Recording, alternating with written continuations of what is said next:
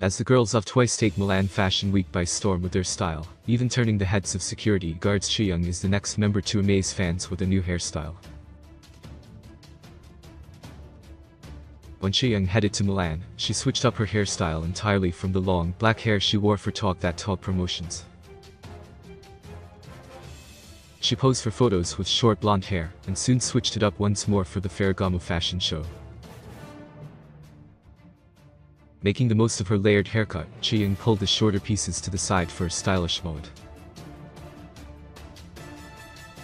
Wearing a white Ferragamo blazer and skirt combination contrasted with black accessories and heels, Chaeyoung looks stunning.